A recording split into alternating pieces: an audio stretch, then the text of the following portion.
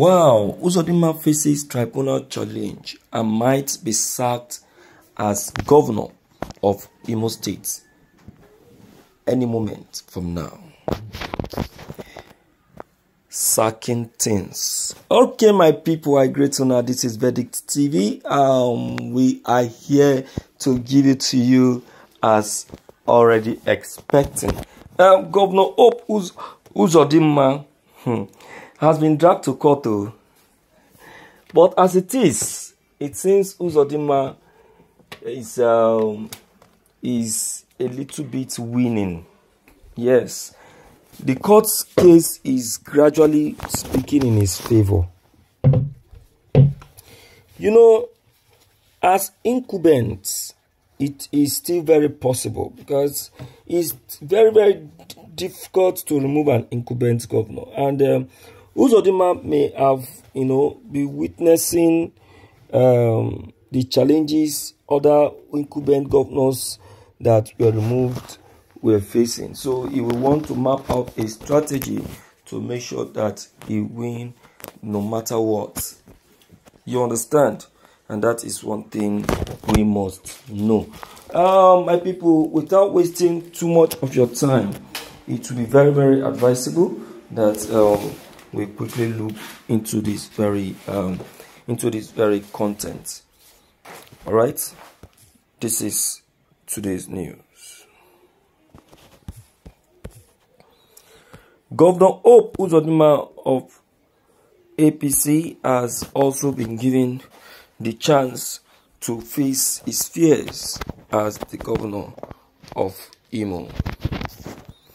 According to him, following his victory in the November 2nd Imo governorship election, Governor Hope Uzodinma is now confronted with a legal challenge as some contestants from the polls have taken the matter to the election petition tribunal.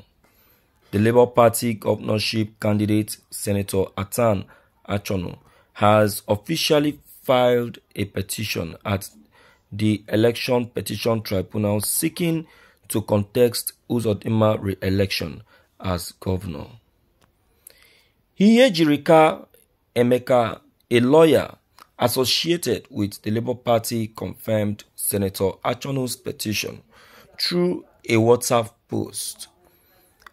The grounds of the petition and the specific issue being contested were not immediately disclosed.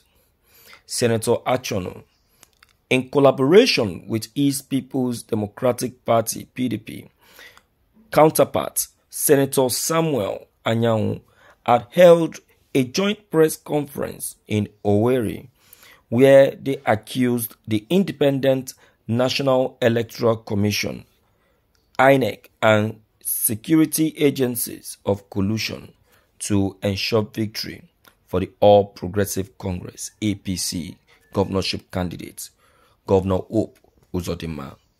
The PDP candidate Senator Samuel Anyanwu also expressed his intention to challenge INEC declaration of Uzodima as the winner of the November 2nd governorship election in courts.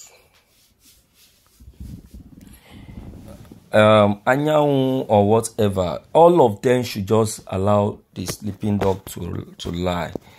This year's election is gone. Is gone.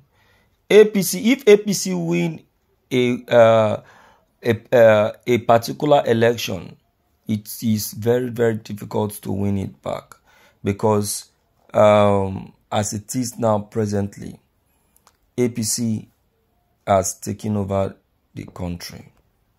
Hmm.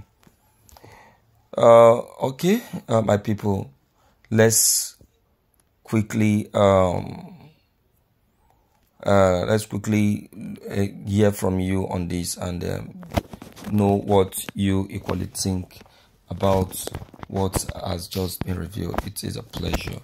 Don't forget your comments. Don't forget to to leave them below the comment section click on the subscription buttons as well as the bell buttons to get updated each time we upload any new videos.